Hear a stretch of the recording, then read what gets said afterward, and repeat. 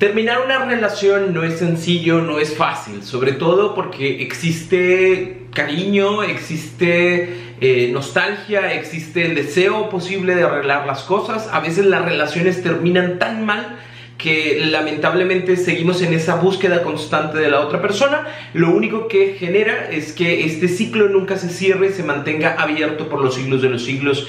Amén. Por eso el día de hoy quiero explicarte una estrategia bastante importante que se llama el contacto cero. Lo primero que vamos a conocer es qué es un contacto cero y un contacto cero es no interactuar con la otra persona no buscar a la otra persona y no enviar o mantener indirectas con la otra persona. ¿Por qué se decide hacer esto? Hay relaciones que son muy complicadas y que al momento de terminar se vende esa idea de es que nos vamos a extrañar mucho y qué te parece si mejor somos amigos, ¿Qué te parece si tratamos de llevarnos como nos llevábamos antes al inicio de la relación?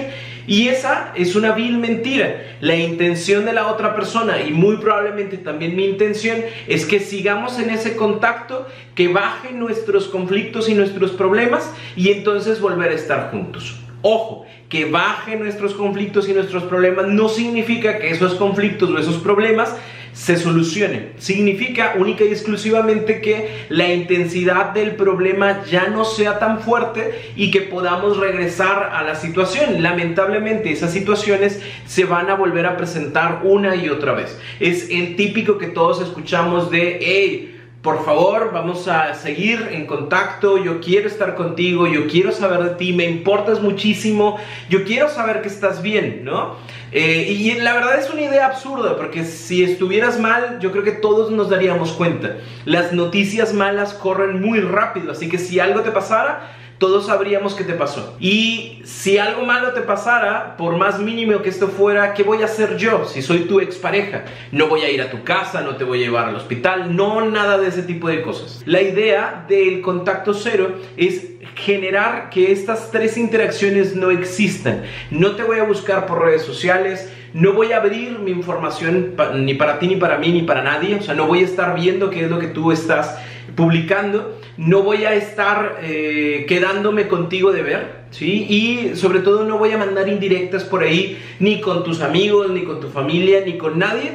¿Por qué? Porque la idea es terminar ese contacto. ¿Con qué intención o cuáles son los beneficios que genera un contacto cero? El primero de ellos, bajar la cantidad de estímulos. La mayoría de nosotros lo que nos genera mucho dolor es que seguimos viendo a la otra persona y ya sea que hoy, no sé, lloró, ya sea que hoy dijo, ¿te acuerdas la vez que corrimos por el parque y los dos estábamos agarrados de la mano? Así me vi siempre, ¿sí? Y eso modifique la forma en la cual yo estoy pensando eh, sobre mi decisión, porque a lo mejor mi decisión es ya no continuar. ¿Por qué no continúo? Porque ya hubo tres infidelidades en la relación y llevamos tres meses, ¿no? Y entonces tú me dices, bueno, ¿sabes qué? Quiero verte, quiero que nos veamos. Quiero que sea una despedida. Y bueno, ok, está bien, voy a esa despedida. Y en esa despedida tú me dices, es que yo me equivoqué y fíjate que tengo un problema, me di cuenta de que hay algo que está mal en mí, pero lo voy a cambiar, voy a echarle ganas y voy a ser una nueva persona porque quiero estar contigo. Y tú, porque obviamente si quieres a la otra persona, no sé por qué, pero la quieres, entonces quieres a la otra persona, decides regresar por las promesas que te vende. E, esa cantidad de estímulos que generan que tú quieras estar ahí. Aún así, por ejemplo, hay estímulos que no son directos, que no se hablan, pero entonces yo ya estoy viendo en sus redes sociales que empezó a salir con alguien más o que está escribiendo eh, cuestiones o cositas de amor. Y entonces tú te preguntas, ¿será para mí? ¿Será para la otra persona? Eh, ¿Estará saliendo con alguien más? ¿Es que con alguien más iba a ser feliz y yo no voy a ser feliz? ¿Y yo por qué no estoy saliendo con alguien más? Y toda esa cantidad de estímulos lo que genera es que este proceso de cierre no se realice precisamente porque la otra persona mentalmente sigue atormentándome o yo me sigo atormentando con la otra persona mentalmente, lo cual no me permite generar un cierre. Por eso bajar los estímulos, bajar la cantidad de estímulos, te va a permitir que tú te centres y te concentres en tu aquí y en tu ahora que el día de hoy lo más importante seas tú, que te levantes y te pongas a hacer lo que tú quieres hacer sin la necesidad de estar revisando qué es lo que la otra persona hizo, sin la necesidad de estar revisando qué es lo que la otra persona pone, sin la necesidad de no me mandó, no me mandó mensaje, no está conmigo, me quiere, no me quiere, está o no está. Lo importante cuando termina una relación es que tú te centres en ti. Porque si tú terminas una relación centrándote en el otro, es mucho más probable o que vuelvas o que conviertas esta situación de dolor, porque obviamente terminar una relación provoca dolor, lo conviertas en un sufrimiento. Y hay personas que se pueden llevar años en este sufrimiento porque constantemente están observando qué hizo el otro, porque el otro ya se casó, porque el otro ya tiene hijos, porque el otro consiguió esto, porque el otro hizo lo demás. Y entonces en ese otro, otro, otro, otro, yo termino generando una permanencia eh, involuntaria de la otra persona mentalmente en mi vida y me, me impide eso precisamente el cerrar el ciclo con esa persona. De igual forma, lo que nos va a ayudar muchísimo este contacto cero es a fortalecer nuestra autoestima. Porque si yo estoy en este momento enfocado en mí, en mis cosas, en, lo que a mí me gusta, en volver a trabajar, en mis redes de apoyo, volver a conectarme con mis amigos, volverme a conectar con mi familia. Si antes iba a la iglesia, pues regresar a ir a la iglesia. Si antes hacía esto, lo otro, lo otro, volverme a conectar con lo que yo soy. Eso va a ayudar muchísimo a que mi eh, autoestima se fortalezca. De tal forma que si el día de mañana se presenta una situación, porque el muchacho o la muchacha vino y me, busqué, me buscó, yo con mi autoestima fortalecida bien claro de las cosas que quiero y de lo que no quiero, por más que vengas y me cuentes la historia de tú y yo juntos, porque me imaginé teniendo hijos y siendo viejitos y muriendo uno al lado del otro, como los viejitos del Titanic, mi autoestima me va a dictar de, sí, güey, o sea, suena muy bonito, pero no tienes una idea de cómo generarlo. No hay un plan, solamente, solamente hay un deseo de querer estar conmigo, pero no hay un plan bien específico sobre qué es lo que va a suceder y cómo se van a hacer esos cambios. Ni siquiera está trabajando la otra persona en ese tipo de situaciones. O bien, si la otra persona regresa, vamos a ponerlo, y realmente tiene un plan y realmente se dio cuenta de los errores y realmente está trabajando sobre esas situaciones para modificarlas, yo podré dejar de lado mis emociones y mis sentimientos para ver esta situación con una mayor razón, lo cual me pueda dar la oportunidad de tomar una decisión al respecto. Habrá personas que sí, cierto, decidan volver porque ven otra circunstancia diferente a la que terminaron o bien habrá personas que sostengan su decisión de no continuar porque a lo mejor sí, ya hiciste todos los cambios que a lo mejor en algún momento a mí me hubiera gustado ver, sin embargo ya no es mi momento, ya no estoy ahí.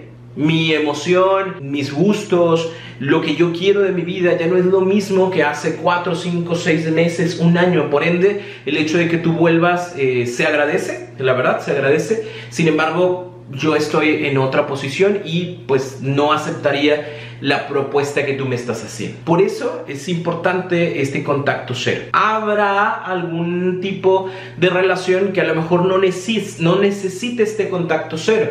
¿Qué tipo de relaciones? Relaciones en las cuales los dos han visto y los dos decidieron, a lo mejor no al mismo tiempo, pero decidieron no continuar porque se dieron cuenta de que la relación ya estaba muy emproblemada y entonces yo respeto el hecho de que tú te vayas y tú respetas el hecho de que yo no esté y no tenemos contacto, no tenemos comunicación y la comunicación que llegamos a tener es una comunicación respetuosa para recordarte que tenemos esta este tema de los pagos, ¿no? O para recordarte que hay una deuda que tengo y con todo gusto déjame te lo pago. Con el tema que este, hay alguna situación pendiente que podemos sentarnos a hablar y punto, ¿sí? En ese tipo de casos no es necesario hacer un contacto cero, puesto que hay una oportunidad y una posibilidad de entender que realmente terminó nuestra relación y cada quien hace lo suyo. Si bien es cierto, no me voy a meter a ver las redes de las sociales de la otra persona, puesto que ya es otra persona, ya es harina de otro costal, entonces eh, yo continúo con mi vida, esta persona continúa con la suya. ¿Qué pasa, por ejemplo, cuando este contacto cero sí es necesario, pero hay hijos? Pues el contacto cero se mantiene en cuanto a lo que yo soy, en cuanto a lo que nosotros fuimos, pero se mantiene la comunicación abierta por, la, por las cuestiones de los hijos, única y exclusivamente por las cuestiones de los hijos. Si tú me marcas o si, tú me marcas o me mandas un mensaje, buenos días, ¿cómo estás? Muy bien, tú, muy bien. Oye, los niños necesitan esto, oye, los niños eh, no se van a salir de vacaciones, oye, los niños. Eso está bien, pero si te marco o te mando un mensaje para decirte cómo estás y ya supe que estás saliendo con un güey, este, o esa vieja, no sé qué, bla, bla, bla, eh, ahí es donde hacemos ese contacto cero y decimos, ¿sabes qué? Lo único con lo que vamos a estar platicando es sobre los niños nuestras vidas personales quedan completamente fuera de esta situación. Eh, pudiera ser, a lo mejor sí, a la recomendación de no me gustaría que mis hijos convivieran en este momento con, ah, sí, claro, no te preocupes, eh, primero que esté estable la relación con esta persona y cuando esta relación esté estable yo te comunicaré que empezaremos a tener un contacto porque obviamente eso va a generar un cambio también en los niños. Ese tipo de situaciones sí podemos ponernos de acuerdo, pero de que si me gusta, si me agrada, si es bueno o no es bueno para ti, eso ya es una situación de la otra persona, no es una situación mía. Te recuerdo la importancia de esta estrategia, en donde sí se puede usar, en donde no es necesario usarla y sobre todo desmentir esta idea de nuestros amigos coach de vida y de nuestros amigos gurús de, de, las relaciones y el amor, que el contacto cero funciona para atraer a tu pareja. Esa es una vil pendejada, y disculpa que lo diga así, pero lo tenía que decir ¿Por qué? Porque si yo estoy haciendo un contacto cero para desaparecerme de tu vida y que tú te des cuenta de cuánto me necesitas, entonces estoy haciendo un chantaje emocional para que regreses conmigo. Y muy probablemente lo que yo estoy provocando y ocasionando es que cada vez que, que haya un conflicto yo me desaparezca para que entonces tú vengas a buscarme. Un contacto cero nunca va a ser el hecho de yo cierro la puerta con la intención de que tú vengas y toques. Un contacto cero es yo cierro la puerta para poder enfocarme en mí, en mis cosas, en continuar con mi vida. No es un cierro la puerta a ver si me toca y déjame grito y déjame canto para que la otra persona sepa que estoy aquí y todo lo mucho que me necesita y nunca ha estado conmigo y para que vea que me perdió. No, ese no es un contacto cero. E, eso es un chantaje emocional que estoy buscando hacer para que la otra persona esté conmigo.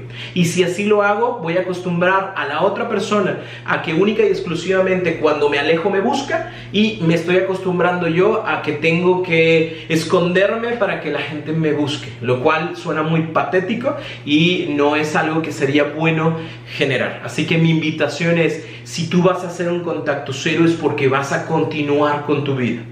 Si lo que tú quieres es mejorar tu relación, entonces es un muy buen momento para hablar con tu pareja, para ver cuáles son las cosas y los errores que se están tomando, para que tú inicies un proceso terapéutico y te des cuenta de si realmente eh, vale la pena mejorar situaciones en la relación, para ver si realmente es la persona con la cual sería bueno estar o que vayan juntos a terapia para solucionar ese tipo de conflictos, pero no hagan el contacto cero para que la otra persona me extrañe y me busque por favor. ¿Estamos? Entonces, si quieres conocer más acerca de cerrar el ciclo, si se te dificulta, eh, yo diseñé un taller llamado literalmente Cerrando Ciclos, en el cual paso a paso vamos trabajando en la forma en la cual tú vas a dejar de estar en ese vínculo con la otra persona, tomando la importancia en ti, en tus cosas, en tus planes, en tu equilibrio personal para poder cerrar esa relación y continuar con tu vida. Si quieres ser parte, recuerda que durante todo este periodo